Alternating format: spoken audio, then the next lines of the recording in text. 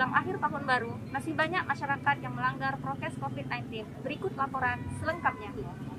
Jelang perayaan Tahun Baru, tim gabungan yang terdiri dari Polres, Dinas Perhubungan, dan Satpol PP Kabupaten Siak menggelar operasi justisi di Kompleks Istana Asteraya Al-Hasimiyah. Personel yang berjaga di posko keamanan memberhentikan para pengendara yang tak memakai masker. Sejak diberlakukannya operasi justisi ini beberapa hari lalu, belasan warga Siak dan puluhan pengunjung dari luar daerah terjaring razia. Hampir kurang lebih eh, tujuh hari dari hari mulai Sabtu, Sabtu minggu kemarin. Yang kami melaksanakan operasi ini ada sudah ada 38 pelanggar perda yang sudah terjaring dan sudah diputuskan oleh hakim pengadilan. Itu ter- dendanya 50 ribu. Semuanya itu 50 ribu. Itu putusan hakim Hmm.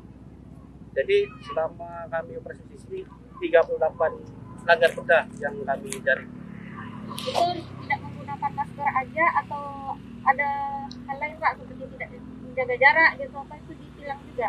ya. Selama ini kami dalam hal penegakan peraturan daerah dalam hal tidak memakai masker. Itu yang kami laksanakan itu hmm, selama ini hmm, sebanyak 38 pelanggar dan sudah diputus oleh pengadilan. Untuk hari ini Pak, apa udah ada yang terjaring? hari ini ada eh, sudah dijaring kami melakukan eh, operasi justisi hari ini.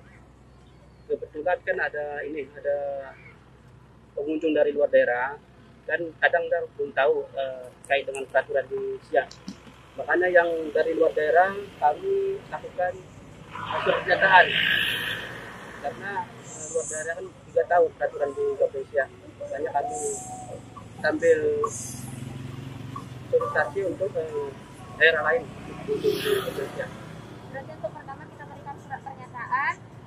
Kalau yang udah tahu seperti di wilayah saya itu kita lakukan penindakan gitu Ya, ya Pak ya. betul. Kalau udah tahu kita dikasih penindakan dan eh, penegakan hukum sesuai dengan denda yang di maksimal dua ratus ribu.